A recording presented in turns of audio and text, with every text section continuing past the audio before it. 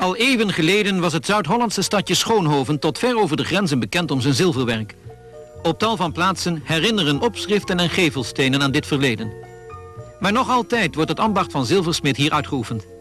In vele gevallen is het beroep van vader op zoon overgegaan. In de ateliers wordt vaak gewerkt naar modellen en motieven die ook in vroegere tijden in zwang waren.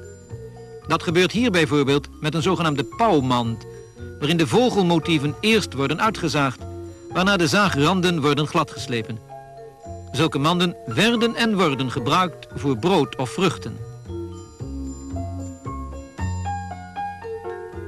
Bijzondere vaardigheid vereist het werken met filigraan, waarbij de voorwerpen worden samengesteld uit heel dun zilverdraad dat in allerlei spiralen en figuren gebogen wordt en vervolgens vastgesoldeerd. Naast handwerkateliers zijn er in Schoonhoven tal van zilverfabrieken.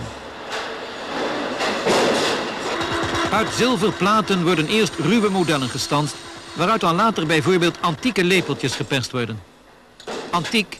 Ja en nee. Gemaakt met de modernste machines, maar helemaal volgens de stempels van de vroegere handwerkers.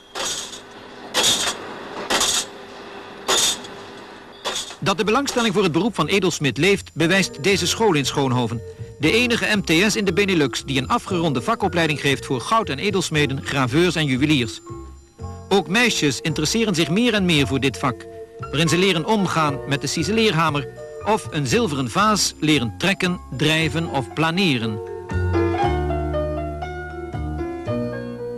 Er bestaat ook een opleiding voor uurwerkmakers op deze school, waar eigen creativiteit sterk gestimuleerd wordt, wat van grote invloed is op de vormgeving van sieraden.